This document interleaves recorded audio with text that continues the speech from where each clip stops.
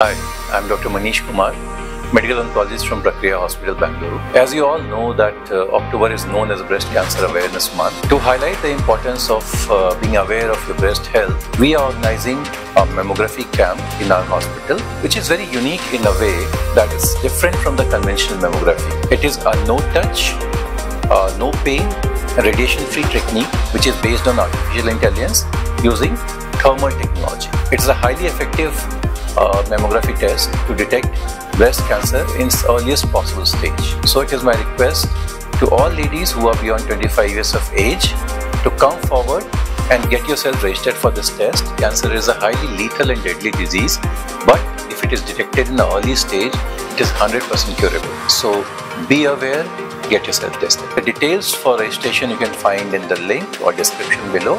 Thank you.